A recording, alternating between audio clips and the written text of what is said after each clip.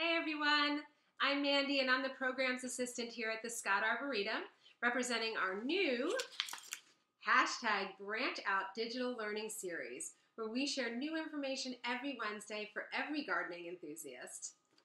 I'm here today to share a mini nature-based lesson and an art activity that will be perfect for children or families to share together. It's springtime and it's the season where the weather becomes warmer and the flowers and trees are growing and really thriving.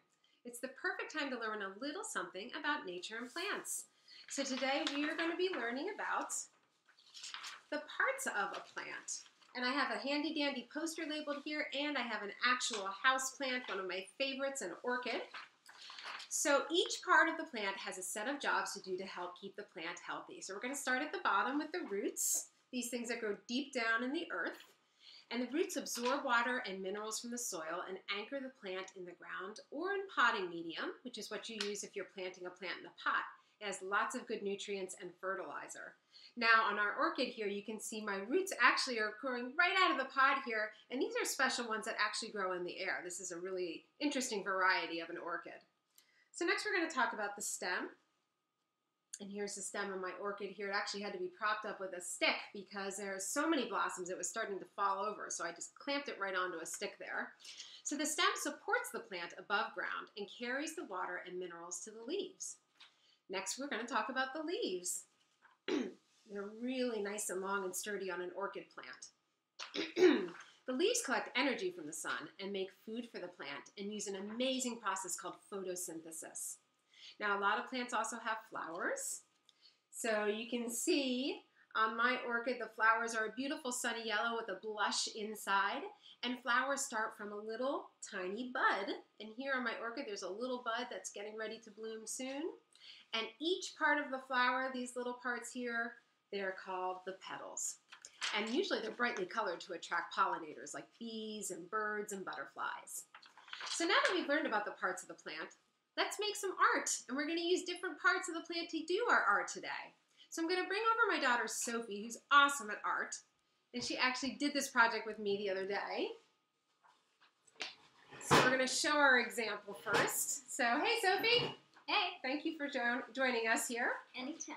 so here's the picture of the painting she did yesterday using all natural objects, either using them as paintbrushes or as stampers. So we're going to show you what you need and do a little bit of demonstrating on how to do it. So the first thing you're going to need is a sheet of paper. Sophie's got one right here. Should be maybe a piece of construction paper, so it's a little bit thicker. And then you're going to want some paint.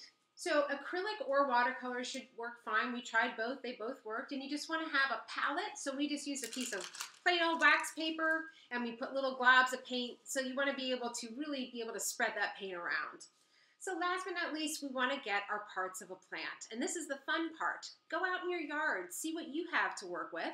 Definitely bring an adult with you because they can show you what's safe to use, what, part, what plants are safe to cut from. And we want the pa uh, parents or whoever is the adult to do the cutting. So maybe a nice pair of shears or um, even a pet, uh, set of pruners would work great. And um, so we're going to show you some of the things that work well for us, but obviously you're going to use what works in your backyard. So we definitely found that we like to have some twigs or branches. We got some great forsythia twigs that worked really well.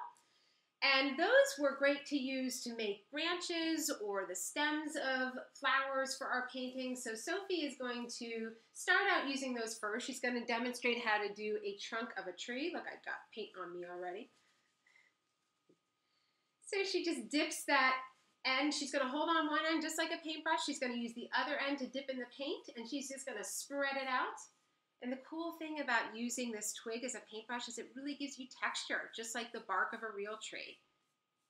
And it's really easy to use. So the other thing you want to get are some leaves. You want to make sure they're sturdy. I have some great Pachysandra leaves here that we have in our yard. And again, you don't want anything too flimsy that'll fall apart in the paint. And we're going to use these just like stampers.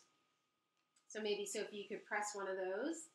Sophie's going to use just a standard green, but you could get creative. You could have purple leaves.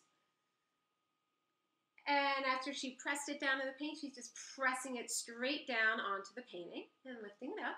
Awesome.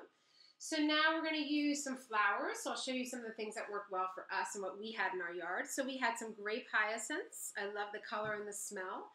We have some skip laurel flowers, and we also have a ranuncula flower that is actually a little dried out, which was actually a good thing. It was a little bit sturdier.